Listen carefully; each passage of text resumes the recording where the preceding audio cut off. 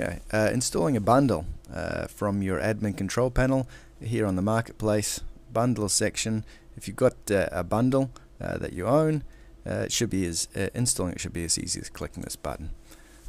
if you don't own it, then clicking the button will buy the bundle. here, we're going to watch watch that install now. This is going to install the audio support, video support, file downloads, image galleries, user playlists.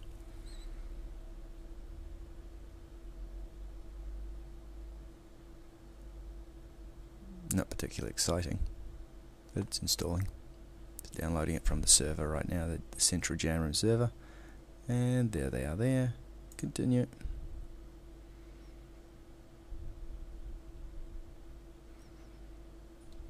Done.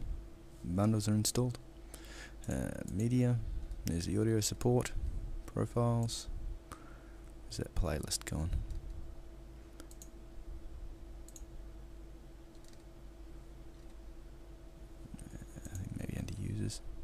User playlist, installed it. That's how to install a bundle.